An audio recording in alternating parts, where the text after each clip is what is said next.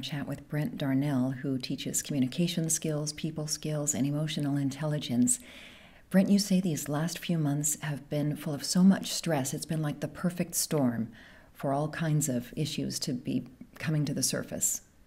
It is. I mean, you're isolated. You don't have the, the human connection that you normally have.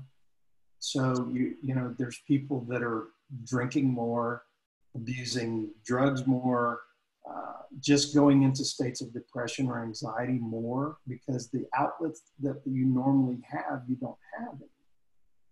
And and the thing we have to really be cognizant of number one is reach out to people during this time if you need help or if you're if you're know some people that may be falling into those categories reach out and make sure they're okay uh, but also there's some, some post-traumatic stress that's going to go on even when we get back to normal you know the, the people that struggle in these areas of mental health and anxiety and depression and, and uh, it's not going to just snap on and go away after they go back to work or go back to their normal routines it, it lingers. So it's about really being cognizant of that and checking in.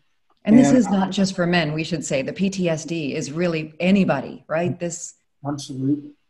Yeah. Um, and I'd like to offer everyone there's a I have a free emotional intelligence test that you can take, and one of the categories that it may find you're in is burnout. So it, it, checks several different emotional competencies, and it'll indicate uh, whether you're in burnout or not.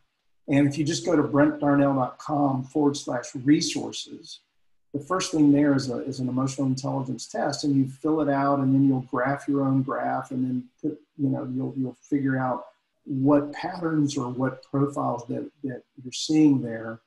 Uh, and then it walks you through some things to think about how it's affecting your life, and uh, then some, some real simple resources. And you can just Google those things. How do I be better at emotional self-awareness or emotional expression or my own assertiveness you know um, we, we find that people that tend to self-sacrifice they'll put other people's needs ahead of their own they have really high empathy and lower assertiveness. Well you've got to balance those more.